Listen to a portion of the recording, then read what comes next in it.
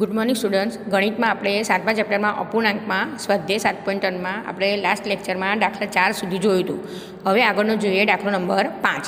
તો હવે છે કે છત્રીસના છેદમાં અડતાળીસનો સમ અપૂર્ણાંક શોધો કે જેનો એટલે કે અંશ અને છેદ. તો હવે આપણે આગળ દાખલો ચાર ને દાખલો ત્રણ જોયું હતું ને એમાં અંશ અને છેદ. એમાં છે ને ત્રણ પંચમાંશનો સમ અપૂર્ણાંક હતો, યાદ હોય તો. તેના પરથી છેદ અને અંશ અને તમને આપેલા હોય એ પ્રમાણે આપણે એના સમ અપૂર્ણાંક શોધવાના. તો હવે આમાં આપણે શું આપેલું છે? અહીંયા તમને મોટી સંખ્યા આપેલી છે. તેમાં છે ને નાની સંખ્યા હતી, ત્રણ પંચમાંશ અને આમાં મોટી સંખ્યા છે. તો આમાં શું કરવાનું? તો એ અંશ નવ, એટલે કે આપણે અંશ નવ હોય ને, એટલે આપણે છેદ આપણે શોધવાનો છે. તો હવે છત્રીસના છેદમાં અડતાળીસ. હવે આટલી મોટી સંખ્યા છે તો આનો કંઈ તમે ઘડીઓ શોધવા બેસવાના? તો હવે આમાં ઊંધું છે. પહેલાંમાં તમે ગુણાકાર કર્યા હતા, આમાં તમારે ભાગાકાર કરવાનો છે. એટલે અહીંયા તમારે ગુણાકારની બદલે શેની સંખ્યા આવશે? એ ભાગાકારની ચિહ્ન તમારું આવશે. એટલે લખવાનું તેવી રીતે? છત્રીસ છેદમાં અડતાલીસ લખ્યા. અહીંયા ગુણાકારને બદલે ભાગાકારનું ચિહ્ન કરવાનું. હવે અહીંયા તમને અંશમાં નવ આપી દીધા છે. તો હવે તમે છત્રીસ ભાગ્યા નવ કરશો તો અહીંયા તમને જવાબ મળી જશે. અને જો એવું ના કરવું હોય તો અહીંયા ઊંધું કરવાનું. આપણે નવનો ઘડિયો બોલવાનો. તો નવના ઘડિયાને બોલવાનું. તો નવને કઈ સંખ્યા વડે ગુણશો તો તમારો છત્રીસ જવાબ આવશે. તો નવનો ઘડિયો બોલો તમે. તો નવ એકા નવ નવ દો અઢાર, નવ સત્યાવીસ, નવ ચોક છત્રીસ. નવ ચોક છત્રીસ આવ્યા એટલે આમ બાજુ કરો ને તો ગુણાકાર આવે. અને આમ તમે કરો તો ભાગાકાર આવે. તમે છત્રીસ ભાગ્યા નવ કરો તો તમારો ચાર જવાબ આવે. અને જેવી રીતે ના કરવું હોય તો અહીંયાથી ઊંધું કરવાનું. તો અહીંયાથી કરશો એટલે અહીંયા બતાવવાનું તો ભાગાકારનું ચિહ્ન. પણ તો મોડે ગણતરી કરવાની. ઇઝી પડે એટલે. તો ભાગાકાર ના કરવાનું. તો ઊંધી ગણતરી કરવાની. તો નવ ચોક છત્રીસ. તો અહીંયા કેટલા આવશે? ચાર. તો અહીંયા ચાર આવે એટલે અહીંયા બી તમારે નીચે ચાર આવશે. તમારે અડતાળીસ ભાગ્યા ચાર કરવાનું. એટલે જે જવાબ આવશે તે તમારો અહીંયા જવાબ એટલે આ તમારે જાતે કરવાનો છે. ભાગાકાર તમને આવડે જ છે. તો અડતાળીસ ભાગ્યા ચાર કરવાનું. જેવું ના કરવું હોય તો તમારે એવું વિચારવાનું કે એવો કયો ઘડિયો છે કે જેને હું ચાર જોડે ગુણું તો અડતાળીસ જવાબ આવે. બરાબર? ચાલો, હવે આગળ. હવે છે છેદ ચાર. તો અહીંયા બી છેદ ચાર આવી રીતે તમારે કરીને અહીંયા લખી દો. અહીંયા બી આપણે ભાગાકારનું ચિહ્ન કરવાનું છે. બરાબર? હવે અહીંયા જો સરખું જ છે. અડતાળીસ ભાગ્યા ચાર છે અને અહીં અડતાળીસ અને અહીંયા ચાર છે. એટલે તમે અડતાળીસ ભાગ્યા ચાર કરશો એટલે અહીંયા તમને જવાબ મળી જશે. બરાબર? અને અહીંયા જે સંખ્યા આવશે, એ જ સંખ્યા અહીંયા તમારી આવશે. જો ઉપર નીચે તમને છે ને સેમ જ છે. બરાબર? અહીંયા જો, અહીંયા ચાર વસ્તુ, અહીંયા ચાર અહીંયા આપેલા છે અને અહીંયા તમને જવાબ, અહીંયા છત્રીસ ને અડતાળીસ. પણ અહીંયા જો છત્રીસ ને અડતાળીસ છે ને, તો અહીંયા તમને છેદ ચાર કીધો છે અને અહીંયા અંશ નવ કીધો છે. બરાબર? તો અહીંયા ચાર અહીંયા આવે છે અને અહીંયા ચાર નીચે છેદમાં છે. એટલે આ તમારી જાતે હું ખાલી સમજાવું છું, આ તમારી જાતે કરવાનું છે. કશું તમારે અડતાળીસ ભાગ્યા ચાર કરશો એટલે અહીંયા તમને જવાબ મળી જશે. અને અહીંયા જે જવાબ આવે ને, એ જ સંખ્યા અહીંયા લખવાની. અને એ સંખ્યા સાથેનો ભાગાકાર કરશો એટલે અહીંયા તમને જવાબ મળી જશે. એ તમારો સમપૂર્ણ ચાલ આગળ જઈએ, દાખલો નંબર છ. તો કે આપેલ અપૂર્ણાંક સમાન છે કે નથી તે ચકાસો. સમાન એટલે સરખા. હવે કેવી રીતે? તો અહીંયા તમને રકમ આપી છે કે પાંચના છેદમાં નવ અને ત્રીસના છેદમાં ચોપન હવે કેવી રીતે સરખા છે? તો આપણે પેલું સમ અપૂર્ણાંક કેવું આગળ બનાવતા હતા? ગુણાકાર કરીને એવી રીતે. તો અહીંયા નીચે કર્યું છે, જો કે પાંચના છેદમાં નવ. અહીંયા પાંચના છેદમાં નવ લખ્યું છે અને સામે અહીંયા ત્રીસના છેદમાં ચોપન લખી દીધું. તો હવે આપણે છેદ પહેલાં જોવાનું. તો હવે નવને કઈ સંખ્યા સાથે ગુણીએ તો ચોપન આવે? તો છ. અને પાંચને કઈ સંખ્યા સાથે? તો ત્રીસ. તો પાંચ, છ, ત્રીસ. એટલે આ છ આવ્યું. એટલે આ બે સરખા આવ્યા એટલે આ વસ્તુ સમાન છે. એનો મતલબ એવો. હવે બીજું છે કે ત્રણના છેદમાં દસ ને બારના છેદમાં પચાસ પચાસ. તો ત્રણના છેદમાં દસ છે. અહીંયા ત્રણના છેદમાં દસ લખ્યું. હવે ત્રણના ઘડિયામાં બાર આવે છે. તો કે ત્રણ ચોક બાર. પણ અહીંયા, અહીં ચાર લખે તો દસ ચોક પચાસ થોડું થાય. દસ ચોક તો ચાલીસ થાય. એટલે આ સમાન નથી. એટલે આપણે અહીંયા લખવાનું કે સમાન નથી. ઓકે? ચાલો. પછી આગળ જઈએ આપણે દાખલો નંબર સાત. તો કે નીચે આપેલા અપૂર્ણાંકોને તેના અતિ સંક્ષિપ્ત રૂપમાં ફેરવો.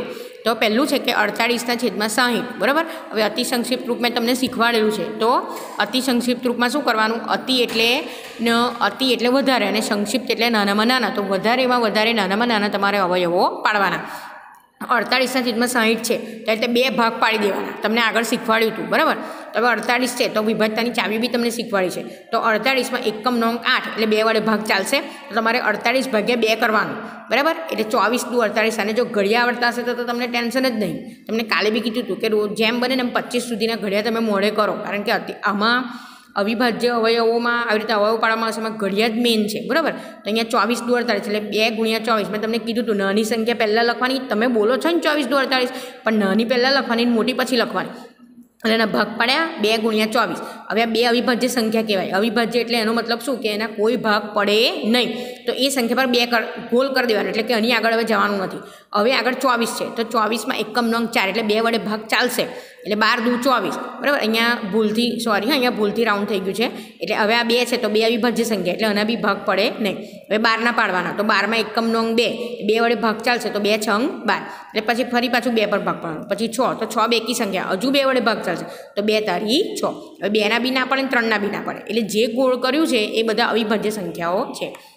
હવે સાહીઠના ભાગ પડે તો સાહીઠમાં એકમ નોંગ જીરો છે એટલે બે વડે ભાગ ચાલશે. તો બે ગુણ્યા ત્રીસ એટલે ત્રીસ ટુ સાહીઠ કહેવાય. એટલે બે વિભાજ્ય સંખ્યા. પછી ત્રીસમાં એકમ નોંગ જીરો એટલે બે વડે ભાગ ચાલશે તો પંદર દુ ત્રીસ.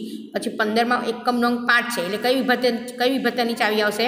પાંચની વિભાજ્યની ચાવી આવશે. તો ત્રણ પંચા પંદર, પછી ત્રણ અને પાંચના અવયવો પડે નહીં. ચાલો, હવે લખવાનું કેવી રીતે? તો હવે અડતાળીસ, સાહીઠ લખવાનું, પછી બરાબર કરીને આ જેટલા અહીંયા સાઈડ પર ડાબી સાઈડ તમારી જેટલી સંખ્યા દેખાય છે, એ ગોલ કર્યું છે, એ બધી સંખ્યા તમારે અહીંયા અંશમાં એની સામે લખી દેવાની.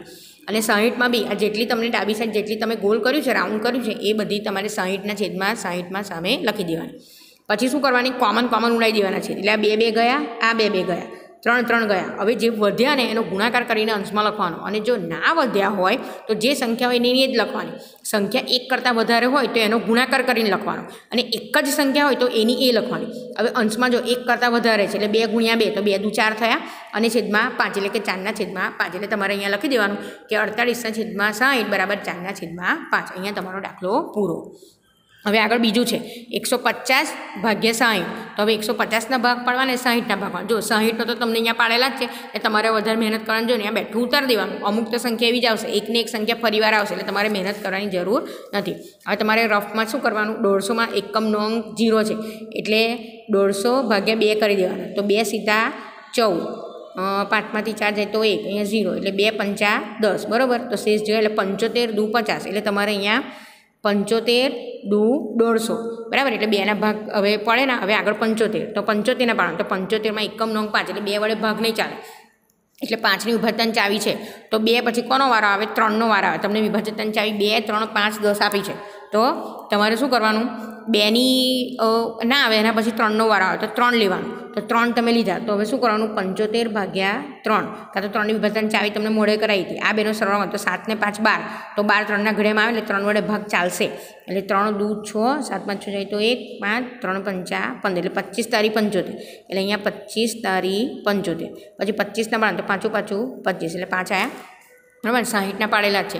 બસ, અહીંયા તમારી જાતે તમારી જાતે શું કરવાનું છે? હવે આ દાખલો તમારી જાતે અહીંયા કરવાનો છે. હવે આગળના દાખલા છે ને, ચોપડીમાં સી ડી ઈ ઈ સુધી દાખલો છે. એ તમારી ચોપડીમાં છે, એટલે તમારી જાતે આગળના દાખલા તમારે પૂર્ણ કરવાના છે. Thank you